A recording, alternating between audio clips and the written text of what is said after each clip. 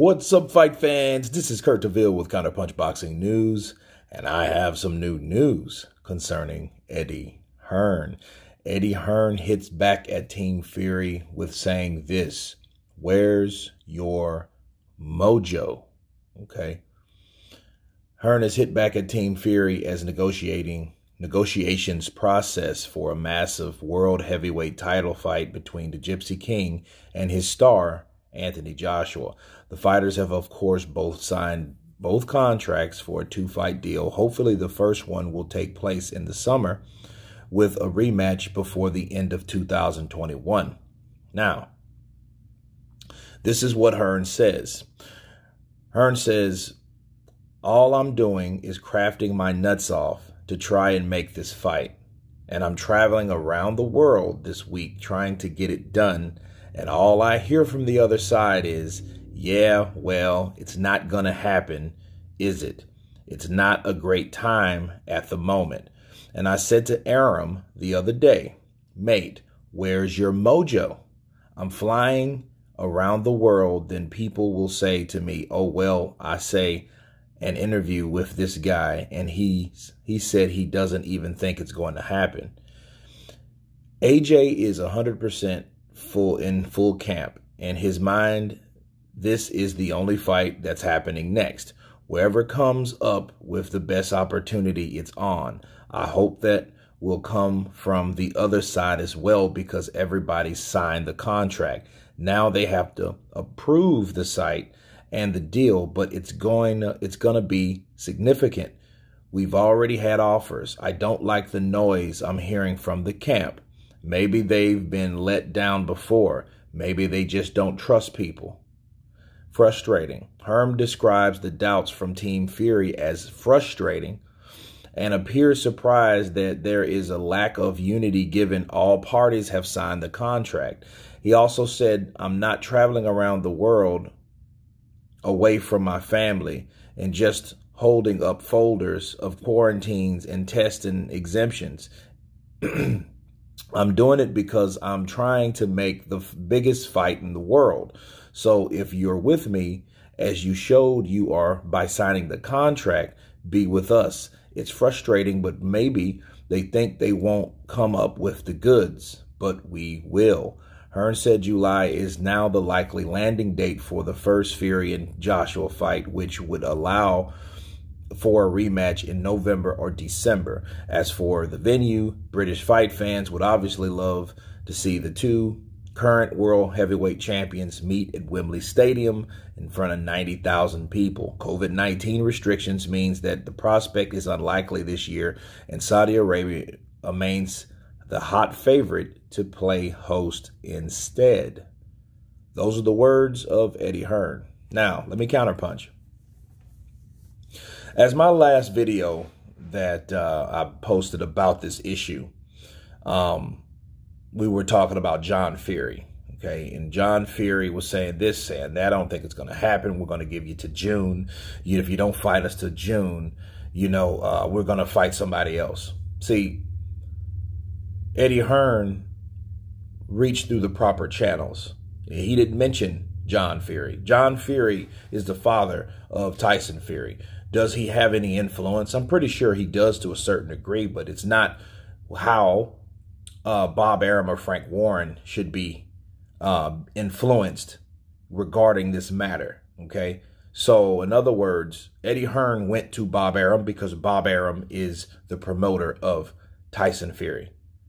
He didn't mention uh, Frank Warren though, but he mentioned Bob because I guess he has a he has a better relation working relationship with Bob Arum, so it makes sense. And he's asking Bob, like, hey, where's your mojo? What's the deal?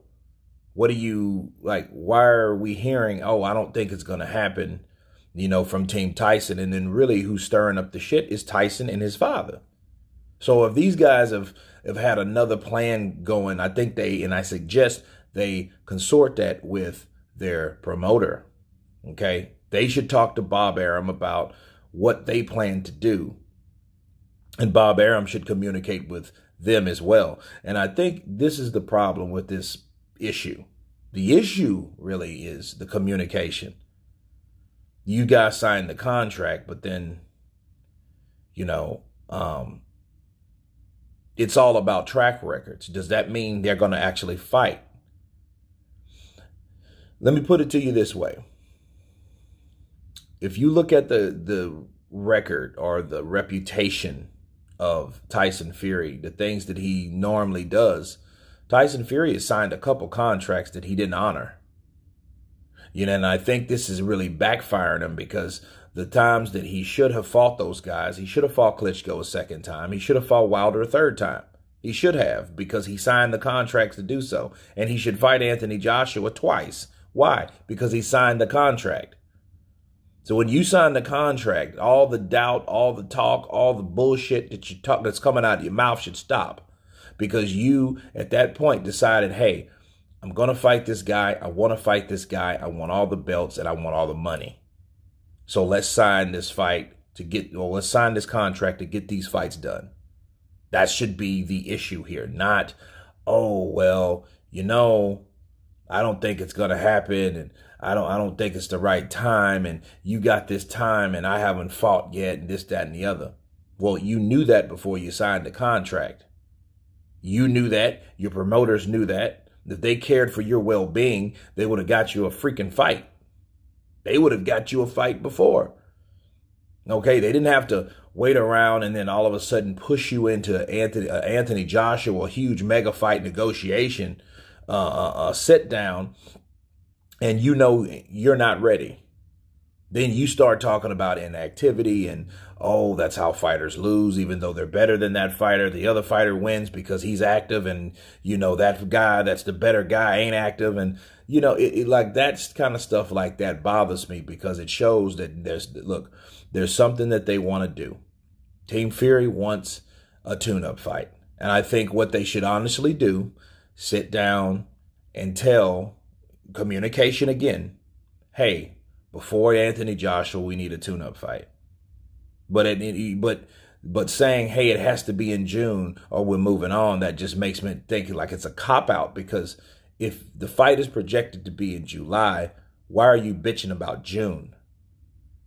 Because that's not too far away. It's a, that's a month past that date, you know, and it would shut everybody else up with the other stuff Tyson Fury has going on, unless Team Fury hasn't been 100% honest with what's really going on because that could be the case. Why could it be the case? We could speculate because there's no clear ground of that arbitration and none of that. It's not.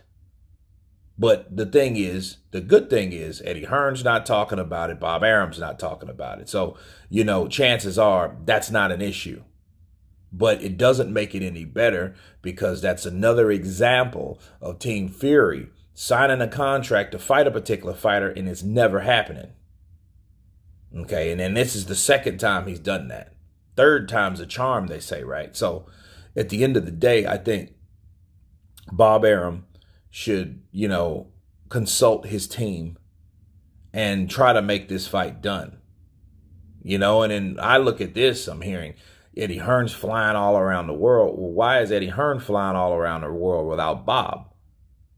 You know what I mean? It's like a one sided thing, and it's all the pressure is on one side. Yes, I know they're the A side, but at the end of the day, there's two sides of the story always. Because it's the side that's calling the shots, but it's the other side that has to agree on those shots that the A side calls. Counterpunch. But anyway, um, you guys tell me what you think about Eddie Hearn hitting back at Team Fury of course, please subscribe. And you guys been Counterpunch. Peace.